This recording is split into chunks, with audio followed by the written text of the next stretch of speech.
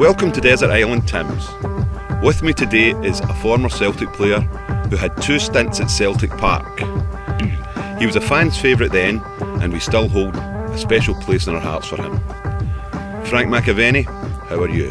I'm fine, thank you very much. Thanks for inviting me. It's good to have you here. So, what was life like for the young Frank McAvennie growing up? It was, it was rather nice actually. It was. Uh, I didn't play football. I mean, I didn't play football when I was a boy. I played when I was in, I was in primary school, and when I left primary school and went to secondary, I didn't play football. Never played at all. So life was good for me because my dad used to take me to go and watch Celtic every week, and everyone played on the same day. You know, amateurs, juniors, and professional played Saturdays and days. So it was great. I never played football at all. I used to go and watch Celtic home and away, and. Uh, so life couldn't get better for me. It was it was lovely all the way through my teens, all the way through, right through, getting lifts, lifted over the turnstile. I'm sure there'll be a lot of people remember that, and it was great, great atmosphere. My dad used to take me to the, the Celtic end, and then when I was getting a bit, you know, going through my teens, I was getting a bit rebellious. I, I went to the jungle, and, and that became my home for the next sort of four or five years. And I used to go with my dad, and then just walk and get into the jungle, and it was it was great you know, it was it was good fun. Excellent. So your first song, what, why did you pick that, and who is it? The first song, I mean, I'm, I'm my, as you'll probably gather as we go along, my musical interest is very varied. Um, it's just going back for years, and I've always liked this song. Um, I liked the film, a bit cheesy, but I liked it. Um, I think it was my first girlfriend or something like that time, but one of the many. But um, it's uh, a song called Iris, and it's from a soundtrack from a film called City of Angels, and it's the Goo Goo Dolls. So that was Iris by the Goo Goo Dolls. What took you into football? Just by luck, honestly. It was uh, it was by chance. Celtic was uh, the Celtic game was cancelled. I used to play in the summer. Mm. You know, Pat McCluskey used to run a team called Kilsyth St Pat's. I went and played against them because there's a team called the Campsie Black Watch. I went and trial with them, amateur team, and they, they said I wasn't good enough. So Kilsyth St Pat's were playing against them, and I knew I was better than anyone they had. But I didn't like the manager, didn't like me, which probably was a trend that followed me a lot in my career. um, but Kilsyth, I went and trained with them during the close season, and I played against Campsie Black Watch. That was the only reason I went with them. And and then that was it finished. They says, we want to sign you. And I said, I didn't want to say, I didn't want to play. And they says, we've got a game on Wednesday, you want to play that? I said, no. And they said, it's against Kilsyth Rangers. And I went, yeah, I want to play in that one. So I played a couple of games for them. Played against Kilsyth Rangers and, uh, you know, it was my first sort of a, first time coming up against, because they were proper. Better than Kilsyth, so it was good fun. I enjoyed it. And that was the only time I played. And, uh, and it was just by, I went back playing football, and it was by accident that um, Celtic game was cancelled. And I met some pals, and they asked me to go and play, and, and there was some kids watching this boy I was playing against, and, and that's how it started. It was very lucky. So, who was your first uh, professional or senior team? Well, I signed for Johnstone Burgh. It's a junior club, which was professional anyway. Mm. Um, but St Mirren.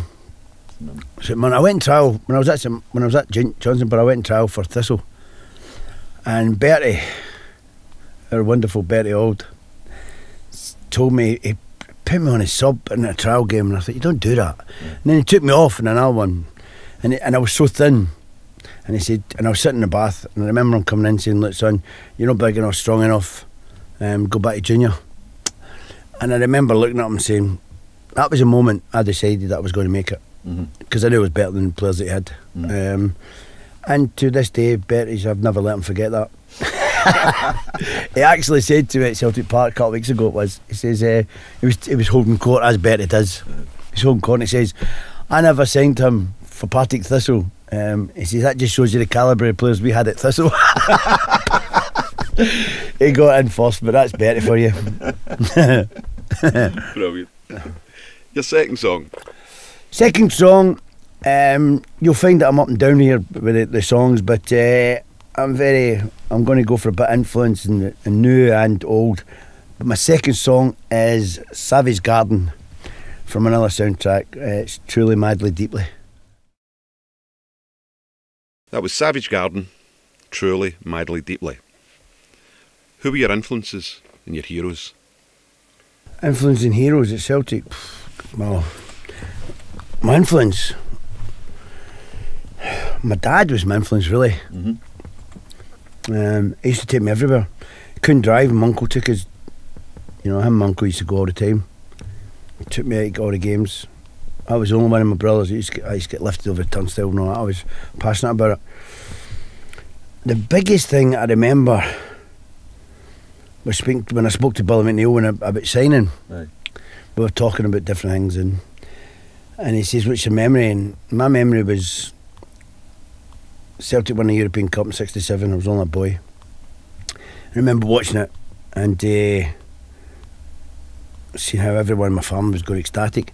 And then my dad took me to Celtic Park to see them come back with a trophy, and it was just frightening. It was it was frightening, but so exhilarating. And you know, I was only a wee boy, you know. It was, and that's a memory. Mhm. My dad was saying then, "This will never be done again." Uh, you know, and how true was that? I mean, nearly done it a couple of years later. Aye. They got to the final, but you know what he was saying was, uh, it was for a for a team like that, you know, and that's why I suppose this, the '67, the Lisbon Lions is uh, a memory that will never go out anyone's any Celtic supporters' Mm. mind, and uh, and I'm glad that they're now back into Celtic because they were they were forgotten about for a long time, weren't they? Yeah, Yeah, And I and I don't think, I don't think Celtic's all about history, Mhm. and that's what you know. That's what it's about, and and every team, you know, that's what Paul McNeill said to us in the centenary year. You've got to create your own history. Mhm. This is this is yours, and and that's what the team's got to do now. So yeah, that's my my heroes was my dad. He was my hero, and, and um, memories of Celtic coming back to Celtic Park. But as I grew as I was growing up, um, Kenny. right. Kenny was my idol. He, he lived in Milton, where I came from. Uh-huh. Um, and the boys used to tell me he couldn't get a game. He was that bad. they used to put him in goal. so, so for me to become his mate Aye. and play up front with him and for, for the blue of Scotland was um, was a dream come true for me. Yeah. And I'm still friends with him now to this day. So Fantastic. that's that's making a wee bit of nostalgia, but it's great. It's great that I, I went. Tommy Burn said to me, he says, "I'm totally different from anyone else. Everyone's Celtic supporters that played with Celtic and all that." He says, "But I've went for the terrace and onto the park, and nobody ever, nobody's ever done that." Mhm. So, in that respect, I think that's why the fans still like me and all that kind of stuff Mhm. because um, I've I've done a lot of things wrong, and uh, I think they see a lot of the, themselves in me, Yeah. and uh, so that's you know. But that was my my dad. Celtic coming back to Parkhead with the European Cup and Kenny Dalglish, I was standing in the jungle. He was my in '77 when he went to Liverpool. I thought my world had ended. Yeah. Um. So yeah, Kenny. So your your third song. Third song is. I'm going to go up and down as I say. My third song is. This reminds me when I went to London. I was, and I met a certain girl called Kate Moss, and she liked this group, and uh, and they come up just they come out with this great song, and uh, I think it was only one song they ever had, Mm-hmm. but the Bodyrockers. I like the way you move. What are your earliest memories of going to Celtic Park? Oh, My earliest memories was, um, you know, as I, as I said earlier, probably going, going to Celtic Park, the European Cup coming and Mm. parading round the track, the big red ash that I think I was sick on a few times when I went there and I was had to run round many, many times, usually for being late.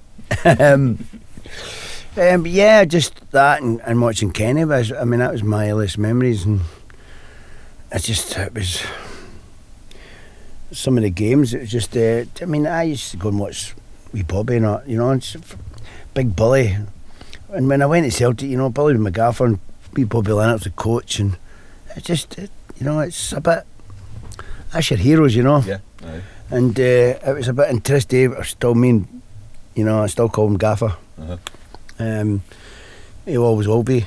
He's um, he's different class to me, and always, uh, you know, he's getting a bit on that, but he's always always knows me, and, you know, and he's pleased to see that I've not changed.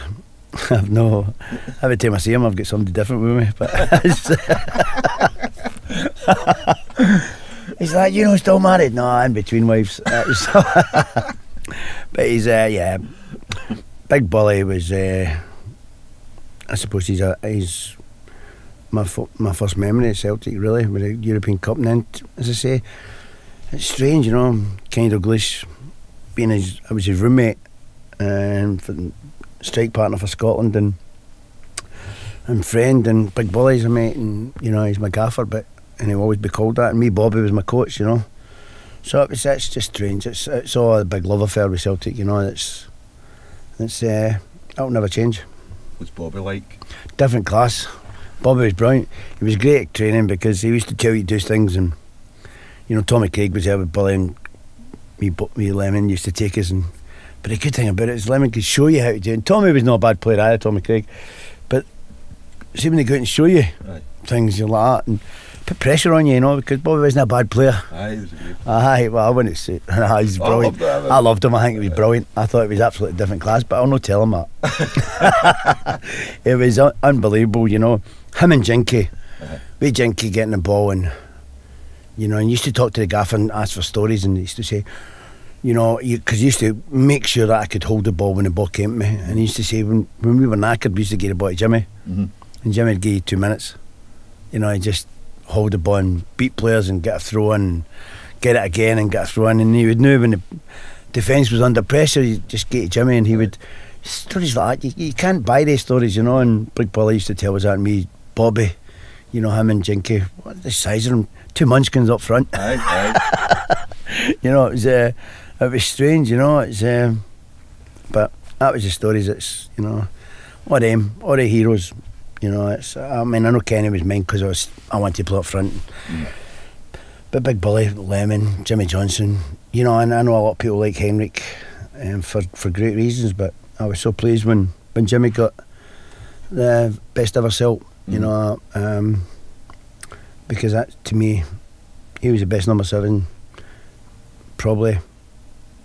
Celtic or any other clubs ever had, mm-hmm. I would imagine. You know, him and Best were my two. Yeah my two idols. so yeah, so and I became pals with him. That was was frightening, but as well. So you know, they're a shocker.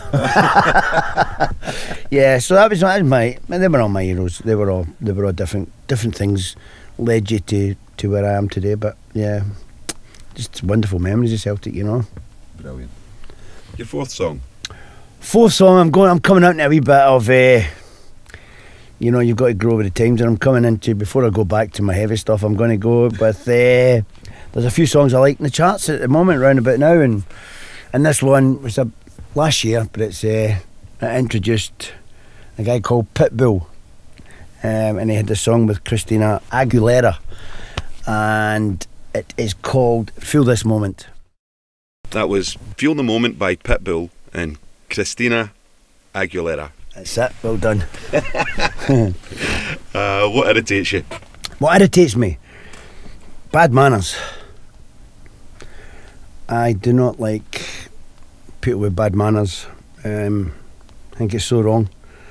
Uh, I was brought up in the mountain. My parents brought me up right. Mm. You know they, um, you know, just just simple things open the door for women, and you know, and do something, say sorry. You know, it's nothing. Doesn't cost you nothing. Mm-hmm. And um, you know, it's it's just a it's just a trait that I've been up and and I.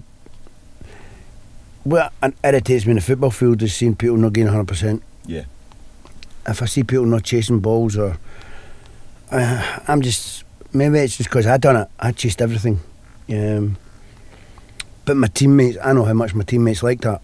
Mm-hmm. You know, because sometimes they can't play the perfect pass, you know. And sometimes they're under pressure and they just got to smash it out and turn a bad ball into a good ball. That's what I always said, you know. And and uh, and it was fortunate because all my teammates liked that, and that's that was a trait that every club I've been at, um, I always done that. Made sure we, we defended from the front and all that kind of stuff. And I like seeing that in teams. You know, I made a statement a couple of weeks ago that it was. Uh, football is now middle class to upper class. Mm-hmm. I, I, still stick by that. You know, I, I, I don't see the hunger for. You know, I've my company. We look after me, Dylan McGeouch at Celtic Park, and Dylan's from where I come from, and he's got that hunger inside him. Yeah. Um, he, has got a great desire and a passion to to go far. And uh, I don't know if I see that with the rest of the boys. You know, I'm not saying they're good players, but Yeah. see when you see when you lose a ball, nobody shouts and balls anymore. Exactly. You know, and, and that's because it's middleweight upper class. It's because they're, they're not brought for the same. They're all athletes. Mhm. Um, we Scotty Brown's got it. You know, he's uh, on his game. He's, he niggles people, and I know he's opposition. I like that. Mhm. You know, I like that wee bit of devil about him. Right. And um, you know, and, and that's what I like to see more players get. I like to see more players get a wee bit of that arrogance. You know, that Celtic always had. I don't see that. That's teams are coming to Celtic Park now, and they're not scared. Yeah. And that's because we've not got the arrogance. You know. I think we've got to get that back. And Lenny had the arrogance. Gee, when he played. You know, he, he walked about and thinking he owned the place, you know, he still does. but, but, you know, he had that arrogance on the part and that general. But there was so many generals up to him, up to that. I mean, Sutton, John Hartson, Henrik, every single one of them all fought for each other. Mhm. You know, Lenny, Stan, Petrov, midfield, it was like, you know, if they lost the ball, Big Johan at the back, jeez, you know, you'd no way they're not shouting and bawling if you lose the ball. That's right. So when did it stop? I don't know when, but I would like to see that back. I would like to see. We used to argue before we went out. We used to argue at half time. That was a passion of it, and Mhm. and nine out of ten we got the results we wanted. Yeah. Mhm. And um, I would hope to bring that back. So that irritates me that I don't see enough passion because there's I see it in supporters. Sometimes I don't see it in the players. I see it in the management, definitely. Yeah. Um, uh, and I see it in some players, but I'd like to see it in every player. Exactly. Well, I can't, I can't disagree with you on that one. Aye. So, uh, your fifth song. right up to date song. Um, only a couple of weeks, but uh, anyone who's it's not a bad song actually, but it's the video is different class, Mhm. and that's why I'm picking it. It's Robin Thicke, Blurred Lines featuring Pharrell. Blurred Lines by Robin Thicke. How do you relax? How do you relax? it's, just, it's a family show. Um, um, I love the company of women. Um, hence why I'm probably in the company of women a lot. um, I relax around women, actually, I do. Um, family, yeah, I'm- I'm just, and and I'm big into golf at the moment. Mm. Uh, something I never thought I would be, but it's great getting a golf course and and uh, just have a game. And it's four hours. Switch the phone off, Mm. or leave it in the changing room and just go out and and have a game with your mates, and it's good fun. I like it. It really is good. I never. I used to go to a lot of golf games, but they used to go and play golf, and I would stay in the bar. And by the time they come off the golf course, the party was started, and uh, you know, and that was the only way they could keep up with me. so I, would- I would give them four hours. A, I would get four hours a start, and then they would start. So that was that was normally the, the way it was. But I used to keep everyone behind the waitresses, not a, and it was good fun. But now I'm into golf, and I see what I get what they all were talking about years ago Aye. when I was too busy going to party. but um, yeah, I was. Um, I'm into golf, and that relaxes me a lot, you know. And, and I believe it or not, and you know, there's two guys I call my gaffer, and that's Billy McNeill and John Lyall, who's dead, God rest him. And uh, they would be shocked when I say that I go to the gym to relax as well. Believe it or not, they would they would just. But John Lyall would turn his grave if I was to say that because I hated training. But yeah, I go to the gym and do a bit. I just I see players my age and who played with me and all that, and I look at them and I go, no, I'm not going like that. Mhm. It's not going to happen to me. You know, they just they've accepted life and they're all fat and not going to happen to me. Mhm. So I enjoy it. I go there and and have a run and have a swim and and I enjoy it. And it's good fun. Fantastic. And the, and the women are no bad to watch either. your sixth song. My sixth song is um, one of the all-time greats for me. Um, I'm a big rock fan, and uh, I went to see these guys at Milton Keynes years ago, and they were superb. And this one is on my phone. It's the best intro ever. It's the most acknowledgeable intros ever. Um, it's Guns N' Roses, "Sweet Child of Mine."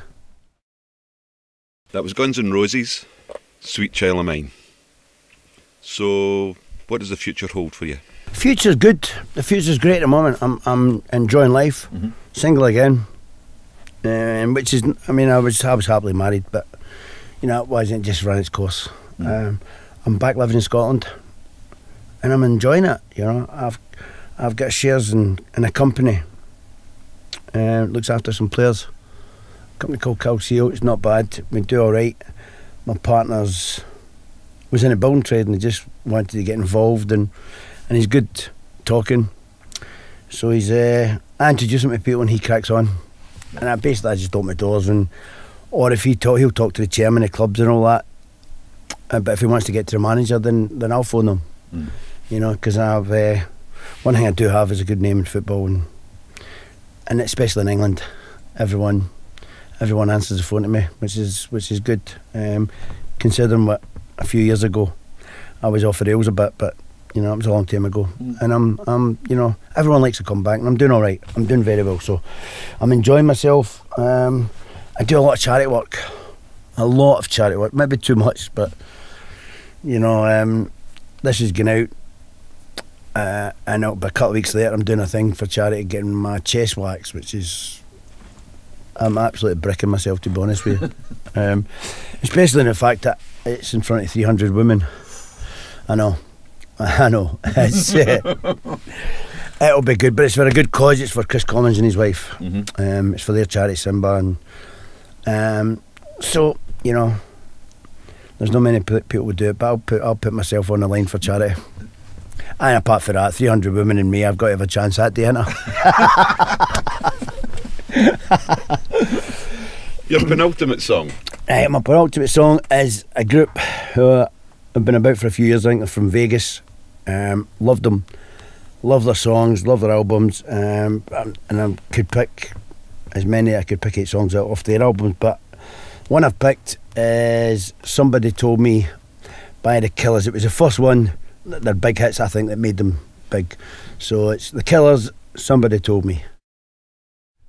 Right, we've come to the part of the programme where I give you the complete works of the dandy and a copy of the Bible to take with you to your island.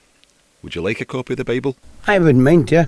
Wouldn't mind that, wouldn't mind it. It's, uh, you know, it's for years, same as everyone, I would imagine. It's always been there and you always tend want to read it. Mhm. But if I was on an island, I, I would like both of them actually.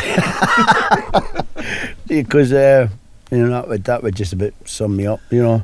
I can be serious at some points and and then the dandy would be great. Aye. Um, but yeah, there's some things in the Bible, you know. I think there's a lot that you can look at and maybe draw your own attention, you know, to Christianity or that kind of stuff. But I never get too deep into it. But yeah, I think it'd be a good read. Another book. Which other book would you take and why? I, would I don't know. I, I honestly don't know. It's um, I like books, bio- autobiographies. I like books that are about people. Um, Kenny's done a couple, so I've read that, and I've I've read you know, with Charlie. I've done I've done I've read a few books, but uh, nothing too intellectual. Uh, you know, so I, I don't know, but, but I mean, I, I can read, I can adapt to anything, Mhm. to be honest with you. So I've not got a favourite. I've not got something that I would. Oh, I need to read that. Mm. Um, certainly wouldn't want that Fifty Shades of Grey when I'm stuck in an island moan. so I don't know. It's a hard one. I, I wouldn't. I couldn't tell you. A luxury. Something to make your life a bit more bearable on the island. And remember, it can't it can't be a, a, a mobile phone and it can't be another human being. That's a strange one. Um, I don't know. What would you have? A cooker. with plenty, of, with plenty of gas so you can cook things, so you can eat. Um, I don't. I don't know what I'd want. It's just simple things. You need to, need to cook something, don't you? So it's something to cook in. I don't know. Frying pan with you. I can, I'm, not, I'm not very good at these homemade devices, so I would. yeah, I could build a fire and all that kind of stuff, but you know, I'd need something to fry your stuff in or whatever. I don't know. Constant supply of uh, bacon rolls would be nice. I, I don't know. I, I wouldn't. I wouldn't know. Right, we'll, air- we'll airlift you in a constant supply Yes. of bacon right. rolls, Bacon right? rolls. That do. Tomato sauce. Tomato sauce. Okay. right, uh, your final song. My final song is uh, again it's a rock group that bust on the scene 20 years ago or something, but um, I've seen them five times or something like that. So they're very, very good in concert, one of the biggest groups in the world. Um, it's Bon Jovi, and the song, apart from Frank Sinatra, who did it my way, this one is a bit more apt for me, and it's it's my life. Frank McAvennie, thank you very much for being a Desert Island Tim. Thank you very much.